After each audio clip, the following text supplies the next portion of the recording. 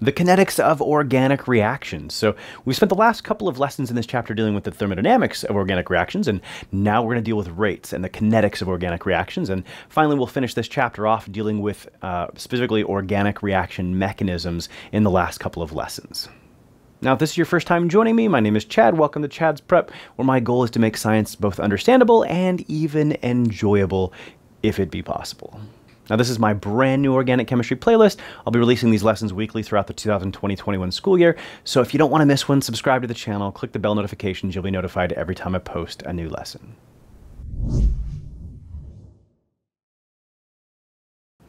All right, so kinetics here. So you might remember from your general chemistry class that's uh, pretty much you can find out everything you want to know about a reaction from the thermodynamics except for one thing.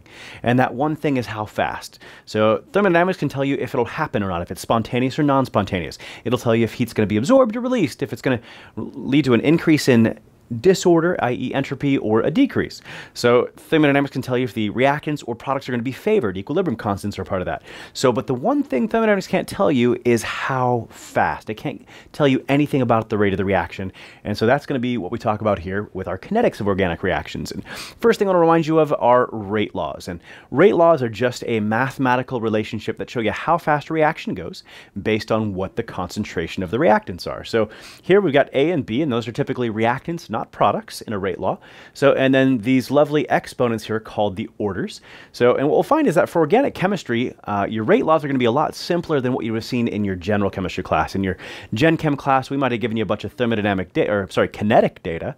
So let's get that right. So some kinetic data and had you figure out, you know, these orders and stuff like that. So, but in this case, really, we're going to hit this on more of a surface level and stuff like that. This will be much easier than what you saw in your Gen Chem class. So, but these still are the orders. They're often integers. You learned it in Gen Chem Chem, they won't have to be integers. But in OChem, they're just going to be integers. That's the only ones you're going to see. Doesn't have to be that way, but we're going to restrict ourselves almost exclusively to ones that they will be. Now, you might recall from Gen Chem that these orders, so don't necessarily have to be the coefficients in an overall reaction.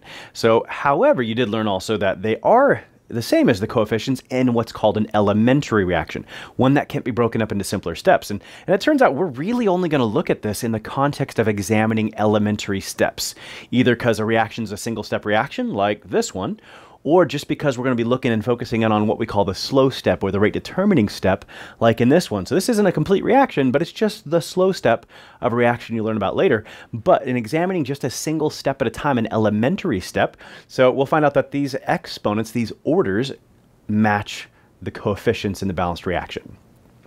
All right, so if we take a look here, we've got a couple of these reactions here, at least one step here, the most important step of this reaction, and then this is just a single step reaction. This is the whole reaction. And because these are elementary reactions, elementary steps, we can get the rate law just by looking at them. So for this one here, we'll just have rate equals some sort of rate constant, lowercase k. Don't confuse that with the equilibrium constant, which is a capital K.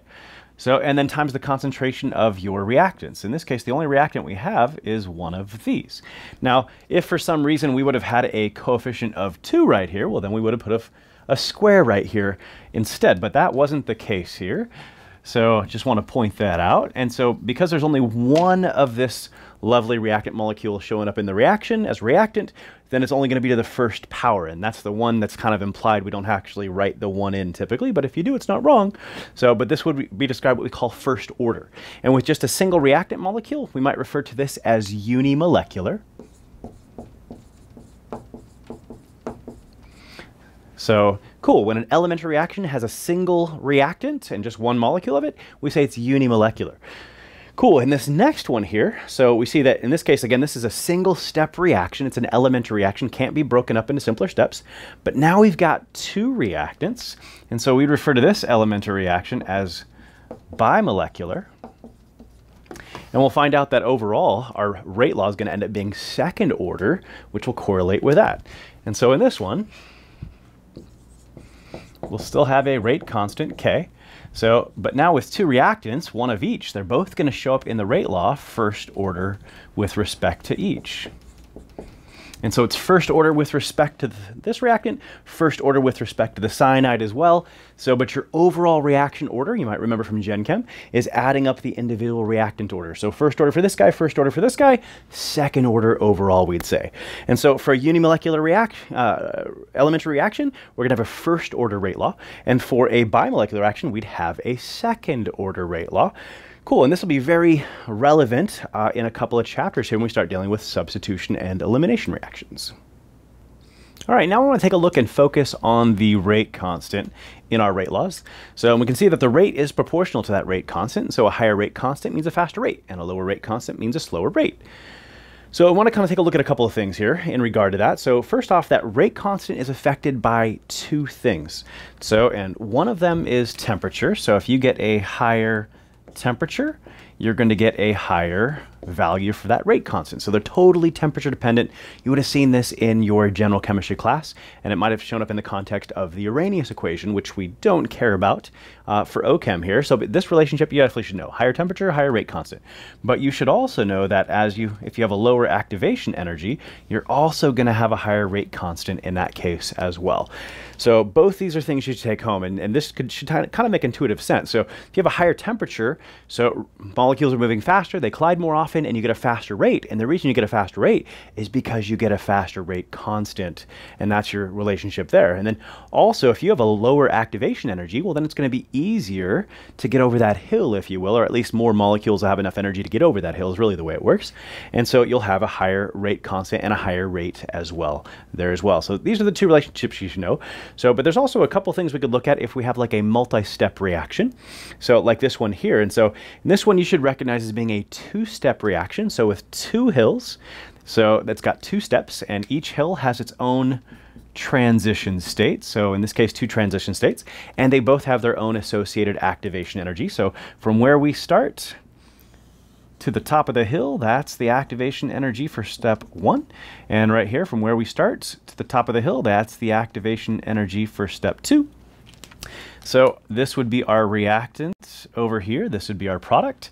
And this local minimum right here would be the intermediate. So notice we haven't seen an intermediate yet, but you only get intermediates if you have multi-step reactions. So reactant, product, but any local minimums in between are going to be intermediates. Now you always have one transition state per step. So a two-step reaction, two transition states. But you're always going to have one fewer intermediates. So two-step reaction, one intermediate, three-step reaction, two intermediates, so on and so forth. So also, therefore, one fewer intermediate than transition states in a reaction.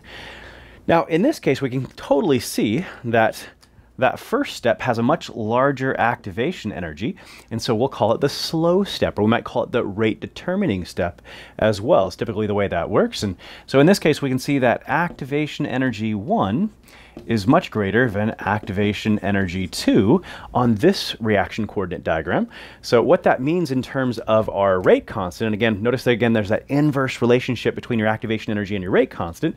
This means, in this case, that the rate constant for step 2 would actually be bigger than the rate constant for step 1. So the one with a smaller activation energy is going to have a larger value for the rate constant. So they might give you a multi-step uh, uh, reaction mechanism like this, diagram a reaction coordinate diagram, and have you start comparing either activation energies or comparing rate constant values, which is again that inverse relationship, something along those lines. Next thing I want to talk about is something that got a little bit, little bit of attention in the course called the Hammond postulate. And uh, Hammond postulate is going to tell you something about what your transition state looks like. And we've got this lovely reaction coordinate diagram for this single step reaction I'm showing you here. And in this case, with the product being lower energy than the reactant, this is an exothermic reaction.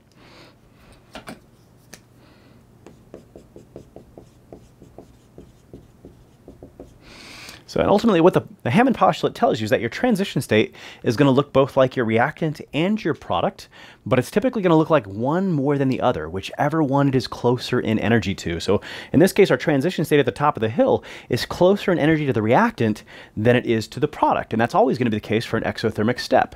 So in this case, it'll look more like the reactant and less like the product. It's still going to resemble both, just more like that reactant in this case. For an endothermic reaction, or an endothermic step anyways, the transition state would look more like the product instead, because it would be closer in energy to that. Now, let's look at what that actually means in the context of the reaction for which this diagram is for. So this is our reaction here. It turns out uh, this is one of the reactions we'll learn in a little bit.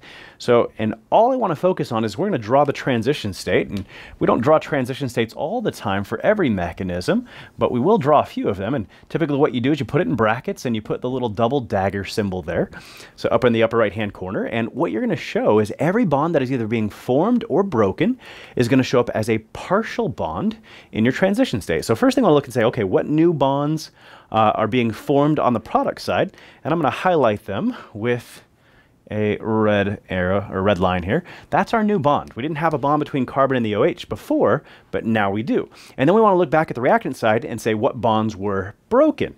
And in this case, I can see that I've got this carbon-bromine bond that's no longer present.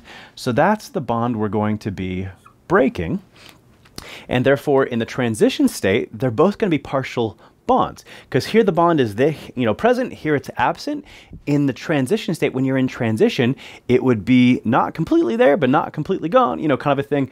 And so in transition it's a partial bond. Let's see what that kind of looks like here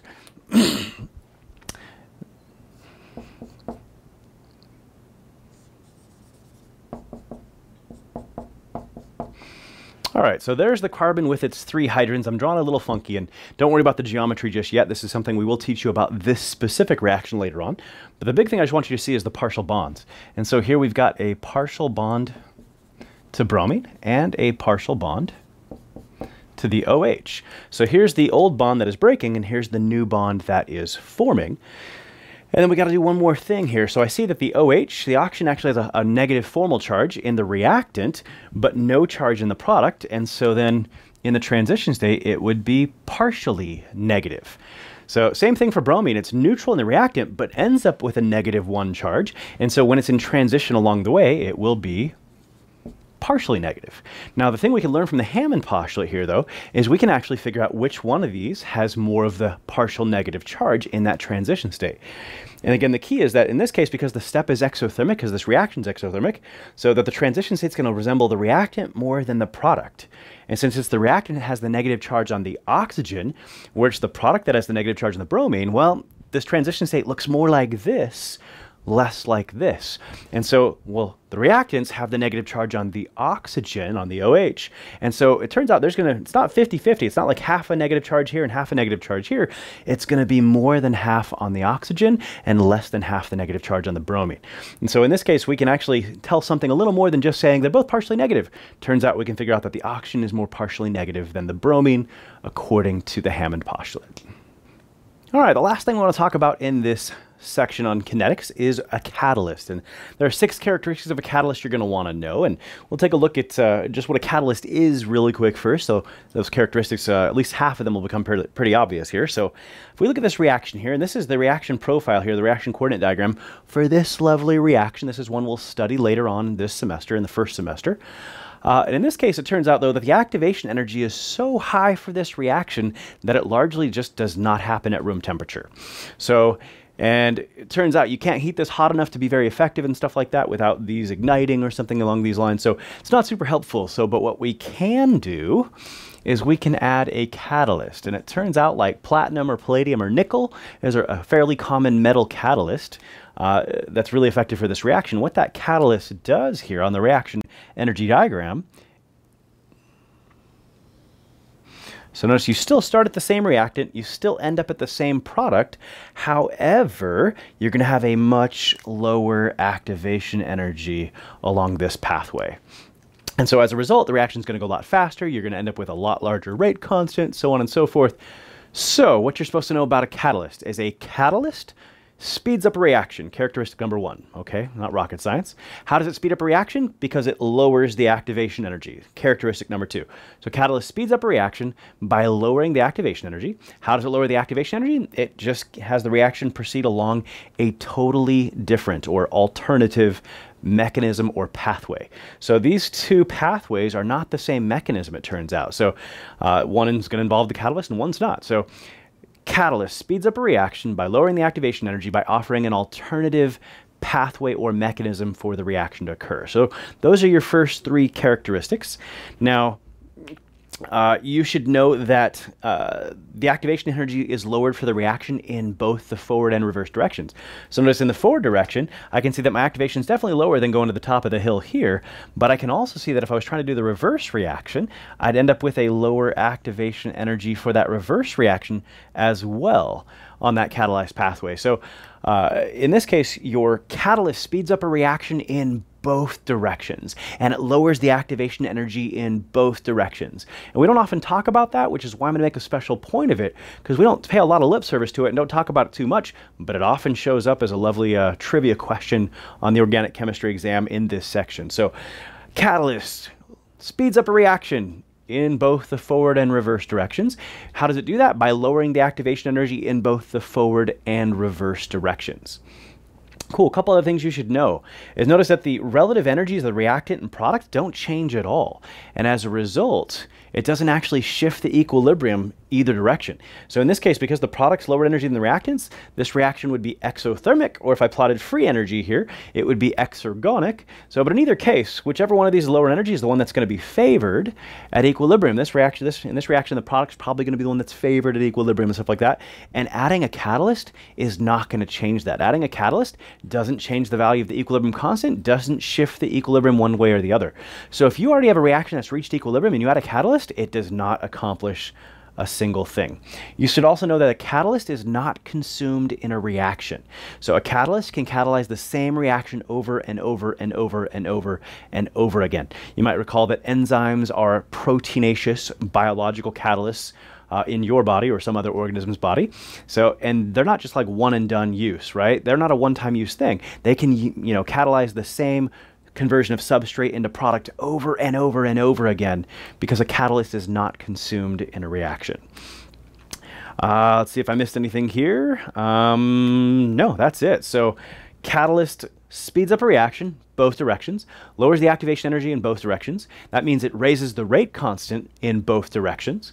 So it does not get consumed, it does not shift the equilibrium, uh, and it does this by providing an alternate pathway or mechanism for the reaction to occur.